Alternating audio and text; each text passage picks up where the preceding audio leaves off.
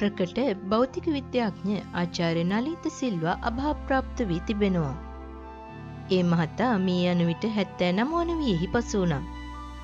දාර්ශනිකයෙක් සහ දේශපාලන විශ්ලේෂකයෙක් වූ ඔහු ජාතික චින්තනය නිර්මාණාත්මක සාපේක්ෂතාවාදය හා විවිධ දේශපාලන මතවාද නිසා ප්‍රකටව සිටියා.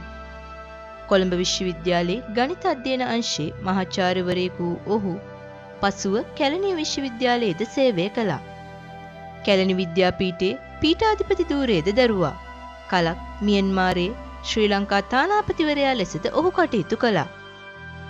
1944 වර්ෂයේ ඔක්තෝබර් 20 වන දින පානදුර කෝවිලගොඩැල්ලෙහිදී උපත ලැබූ ආචාර්ය නලින්ද සිල්වා පානදුර බෞද්ධාලෝක මහාවිද්‍යාලය කොළඹ තර්ස්ටන් විද්‍යාලය සහ කොළඹ රාජකීය විද්‍යාලයෙන් අධ්‍යාපනය ලබා තිබෙනවා.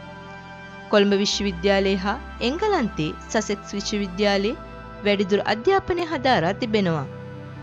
නලින්ද සිල්වාගේ කෘති සහ දේශන එමෙන්ම ඔහු විසින් කොළඹ විශ්වවිද්‍යාලයේ ගණිත ඉගැන්වීමේ යෙදෙන අතරතුර කළ විප්ලවීය කතාබස් කලක් ආන්දෝලනයක් ඇති කරනු ලැබුවා.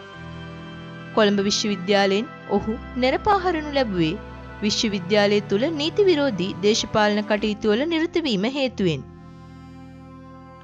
පසුව ඔහු ලියූ ලිපිවල ඔහු සිද්ධිය විස්තර කර තිබෙනවා.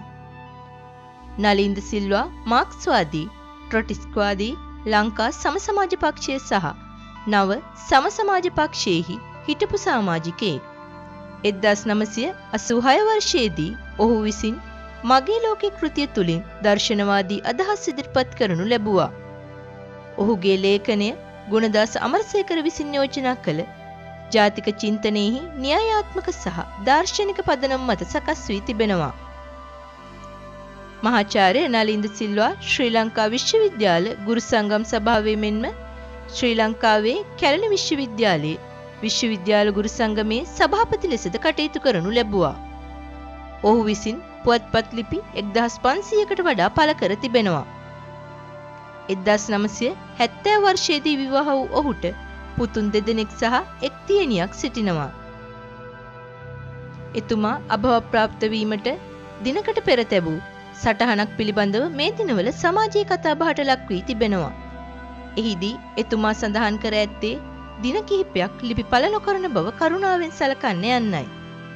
අප අතරින් සදහටම සමුගත් නලින්ද සිල්ලා මහතාට අපි නිවන් සුව ප්‍රාර්ථනා කර සිටිමු.